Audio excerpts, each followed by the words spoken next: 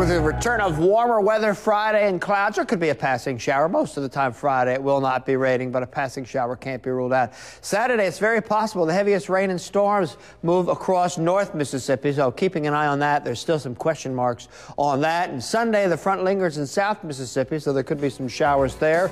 Early next week, clouds off and on showers in midweek. More rain and storms. It's a wet period.